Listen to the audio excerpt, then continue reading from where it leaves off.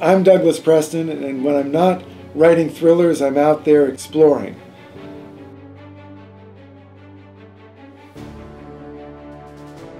In 2012, a 500 year old legend of a sacred white city, or the lost city of the monkey god, supposedly buried deep in the Honduran rainforest, drew me and a team of researchers into exploring some of the last unexplored places on the surface of the earth.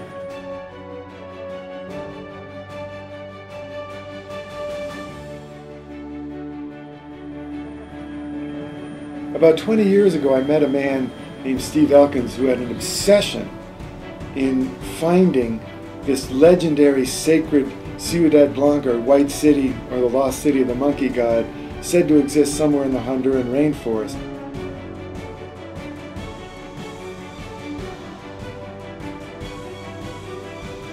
In 2012, using a space age technology, he actually was able to do an aerial survey of an unexplored valley deep in the mountains of Mosquitia in central Honduras and actually found an entire lost city completely unknown to archaeology of huge several miles square.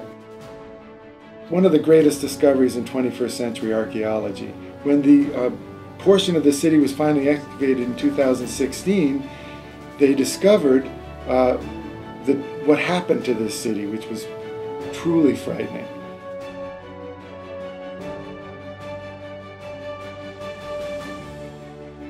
In my book, The Lost City of the Monkey God, I tell the story of this expedition, the discovery of these ruins, our ground expedition exploring them, the incredible discoveries we made, and also some of the uh, dangers we faced from deadly poisonous snakes, jaguars, uh, noxious insects.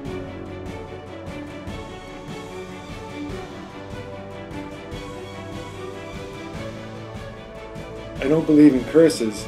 Um, over half the expedition was stricken with a deadly and incurable tropical disease, uh, the gruesome symptoms of which I, I won't describe here, but will leave to your morbid curiosity in reading the book.